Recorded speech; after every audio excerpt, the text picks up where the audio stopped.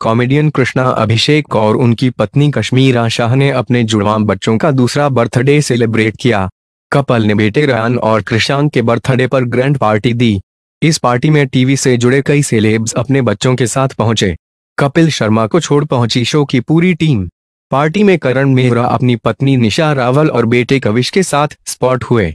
इनके अलावा the Kapil Sharma show से जुड़े कई आर्टिस्ट जैसे राजीव निगम, चंदन प्रभाकर, कीकू शारदा सुमोना चक्रवर्ती, अर्चना पूरन सिंह उनके पति परमीत सेठी ब्रोशेल राव और उनके पति की सिखवीरा पार्टी में पहुँचे। अमृतसर में है कपिल, हालाँकि इस पार्टी से कपिल शर्मा नदारद रहे। कृष्णा की माने तो कपिल को पार्टी के दिन ही अमृतसर निकलना पड़ा और इस वजह से वे पार्टी में शामिल नहीं हो पाए।